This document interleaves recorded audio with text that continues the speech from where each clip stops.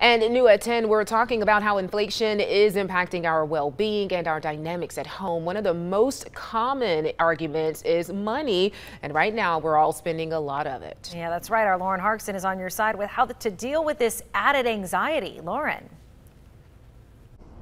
Yeah, Brittany, Catherine, talking and dealing with financial issues can be stressful, especially right now. And I'm told how most people actually deal with these problems is the opposite of how we should.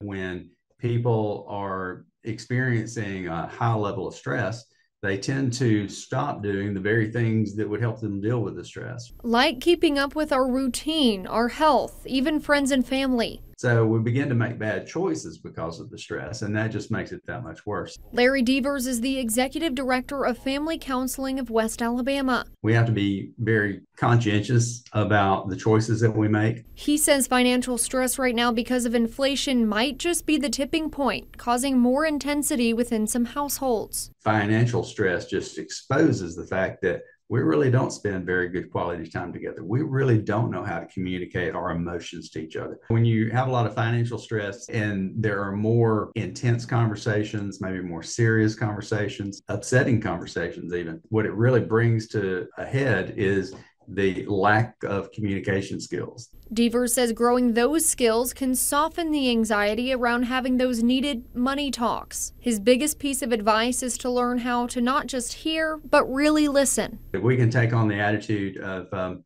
just trying to listen and understand where they're coming from, why they might be feeling that way, if we can truly meet that person where they are, then a lot of times that just melts our defensiveness.